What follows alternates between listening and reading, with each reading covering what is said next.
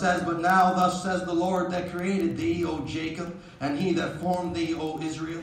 Fear not, for I have redeemed you. I've called you by thy name. oh, I love it. I called you by thy name. He knows my name. He knows my name. He, knows how to call me. He knows how to get my attention. No matter what it is I'm standing through, he, he knows how to speak that name. Robbie, wake up, boy. He knows how to reach us in the darkest places. He knew how to reach Elijah when Elijah withdrew into that cage. He knew his name. Hallelujah. I've called thee by thy name, and thou art mine. Hallelujah. Whose am I? I'm his. he holds me in the palm of his hands. When you pass through the waters, I'll be with you. Through the rivers, they shall not overflow you. When you walk through the fire, thou shalt not be burned. and neither shall the flame kindle upon thee. This was the experience of Shadrach, Meshach, and Abednego. But it was not just their promise, it's yours too. It's mine too. Will you take it? Will you stand when you need to stand? Will you stand in the day of the Lord when the pressures of this world, when our government turns on us? Will you be able to stand? Will you be able to stand? Will you hold fast to that name of Jesus? Hallelujah.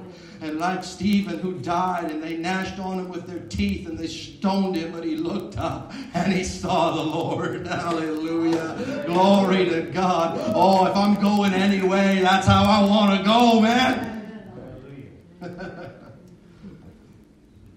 Talk about a glorious exit. They're casting rocks, but he's got his eyes on Jesus.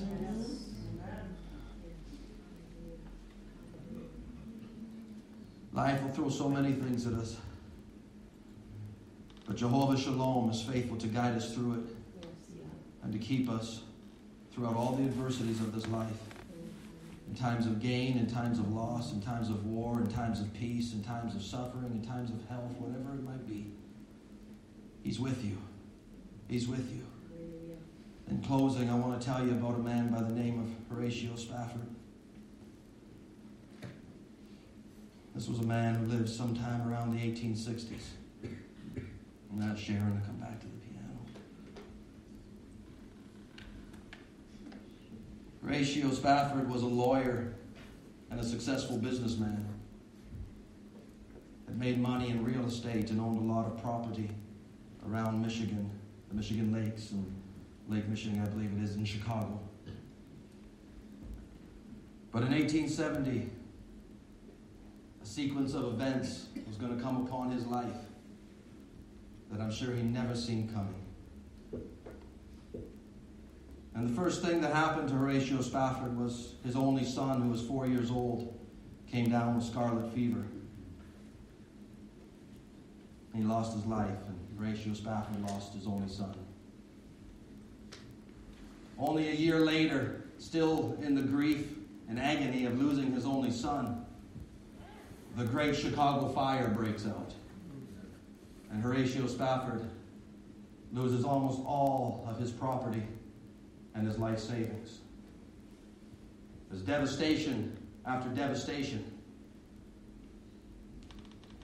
And so, so sometime after this, Horatio Spafford, needing to get away, decides that he and his wife and his four daughters would take a holiday and they would board a steamship to England to visit the famed evangelist D.L. Moody, who was a friend of his.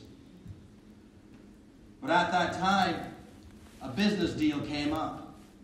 And so he said that he would send his wife and daughters ahead of him and he would catch up. He had to tie up this business deal. And so his wife and his four daughters got aboard this steamship If I can remember the pronunciation of the ship, it's Villa du Havre. And they set for England while he stayed behind to tie up the loose ends of this business deal that had just come up. But as the steamship sailed towards England, it was struck by an English iron vessel. And the ship carrying his wife and his four children sunk in 12 minutes' time.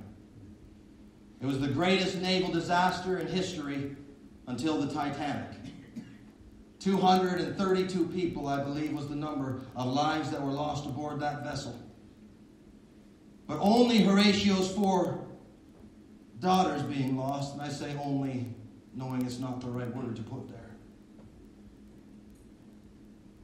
The word that Horatio Spafford receives is a telegram that comes back from his wife. And the telegram reads Saved alone, what shall I do?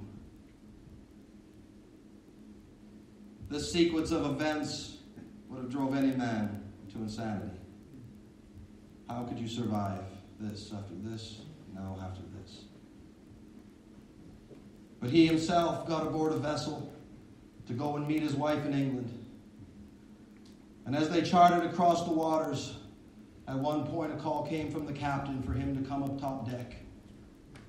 He came up top deck, and the captain gave a notice and said, We now think that we passed the very waters where the Villa du Havre sunk. And so here stands Horatio Spafford and he looks upon the waters, knowing he never had a chance to say goodbye to his four daughters. But he stands on the top deck of that ship and he looks out over those waters that are the graves of his children, that water, the grave of his children. And he stands on that top deck, knowing he was spared where they suffered. And he begins to pen these words. And he says, When peace, like a river, attendeth my way, when sorrows like sea billows roll. Whatever my lot, thou hast taught me to say, It is well, it is well with my soul. The chorus says, It is well, it is well with my soul. The verses continue to read, Though Satan should buffet, though trials should come, let the blessed assurance control that Christ has regarded my helpless estate and has shed his blood for my soul. My sin, oh, the bliss of this glorious thought. My sin, not in part, but the whole, is nailed to his cross, and I bear it no more. Praise the Lord, praise the Lord, oh, my soul. For me, be it Christ, be it Christ hence to live. If Jordan above me shall roll, no pain shall be mine. For death as is life, thou wilt whisper thy peace to my soul. it is well. It is well with my soul. And I'm telling you, there's a peace that passes understanding. Can we just stand together? I'm going to ask Sister Sharon to lead us in that chorus right now.